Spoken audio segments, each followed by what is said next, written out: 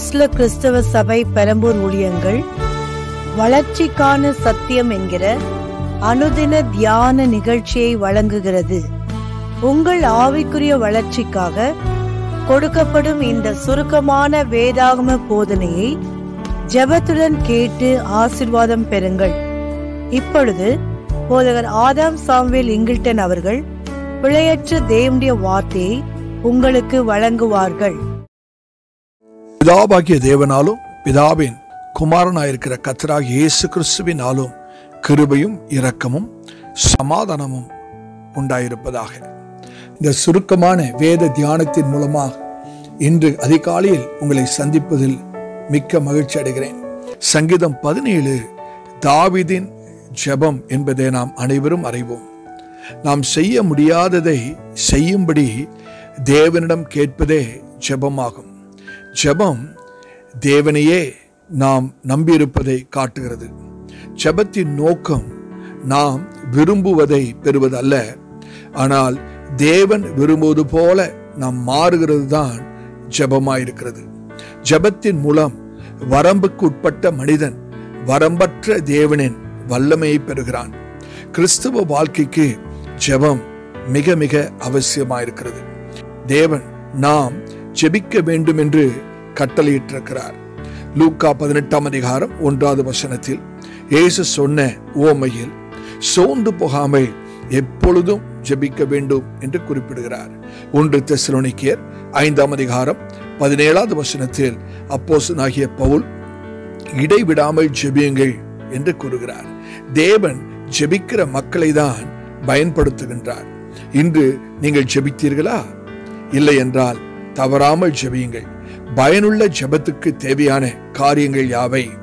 அதை குறித்து சில காரியங்களை நான் உங்களோடு கூட பகிர்ந்து கொள்ள கத்தரால் ஏவப்படுகிறேன். பயனுள்ள ஜெபத்துக்கு தேவனுடைய செவி வேண்டும். தேவனின் கண் வேண்டும். தேவனின் கை மற்றும் தேவனின் முகம் தேவை. முதலாவதாக நமக்கு தேவனுடைய செவி தேவை. ஒன்றாவது வசனத்தில் என்னை கேட்டருளும் என்று தாவித கூறுகிறார். என்னுடைய ஜெபத்தை கேட்க தேவனுடைய செவிகள் எனக்கு வேண்டும். தாவிது ஒரு நியாயமான காரணத்துக்காக ஜெபித்துக் கொண்டிருந்தார். தேவனுடைய சித்தத்தை பற்றி அவர் அக்கறை கொண்டிருந்தார்.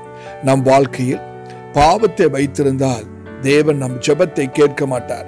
வஞ்சக உதடுகளால் ஜெபித்தால் தேவன் நம்மை கேட்க மாட்டார்.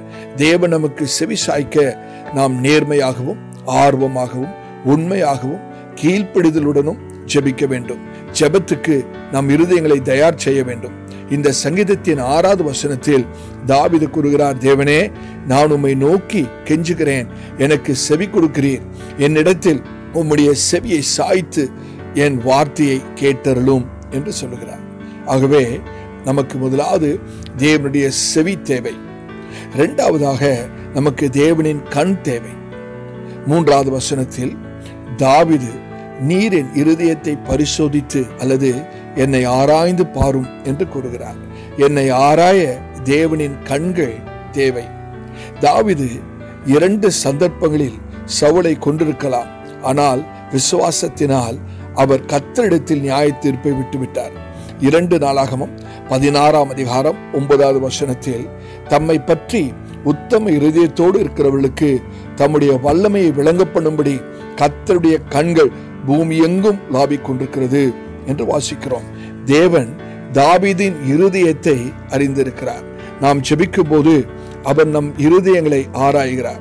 பெரும்பாலும் நாம் யாக்கபை போல இருந்து விடுகிறோம். நாம் செபிக்கிறோம் பின்னர் சொந்த திட்டமிடுகிறோம். தேவனுடைய வார்த்தையும் நம் ஜெபமும் ஒன்றாக இருக்க வேண்டும். நாம் தேவனுடைய வார்த்தையின்படி வாழ்ந்தால் அது நம்மை தேவனுடைய சித்தத்தில் வைக்கும். மூன்றாவதாக நமக்கு தேவனின் கை தேவை. ஏழு மற்றும் பதிமூன்று வசனங்களில் தாவிது என்னை ரட்சியும் அல்லது என்னை விடுவியும் என்று கூறுகிறார். என்னை விடுவிக்க தேவனின் கைகள் தேவை. இந்த வசனங்களில் ரட்சியும் என்ற சொல்லுக்கு விடுவியும் என்று பொருள்படும்.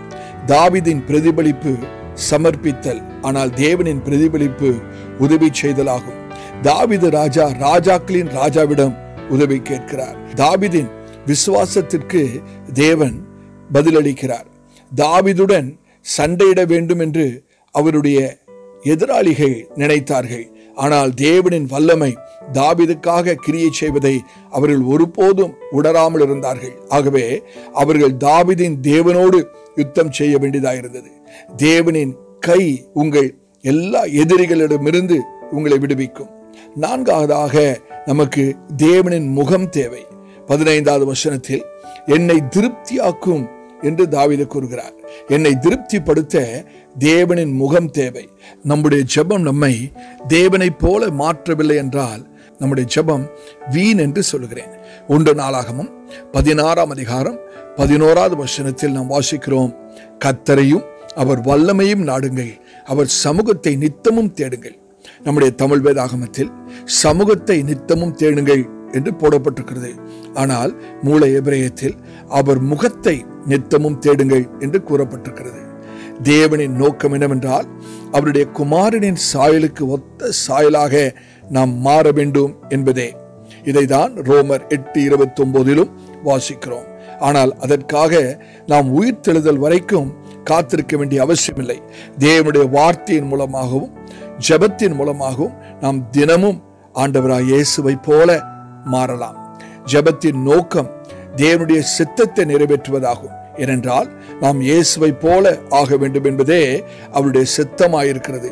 உங்கள் வாழ்க்கையிலும் மற்றவருடைய வாழ்க்கையிலும் தேவன் தம்முடைய சித்தத்தை நிறைவேற்ற நம்முடைய ஜெபங்களை பயன்படுத்துகிறார். நம்முடைய ஜெபம் பயனுள்ளதாக இருக்க நமக்கு தேவனுடைய உதவி தேவை. உங்கள் ஜெபம் அவருடைய வார்த்தையோடும் அவருடைய சித்தத்தோடும் இசைந்து இணைந்து இருப்பதாக இன்றையின் மீதுள்ள நாளை நீங்கள் தேவனோடு செலவிடும் போது கர்த்தர் உங்களை ஆசிர்வதிப்பாராக. Amen.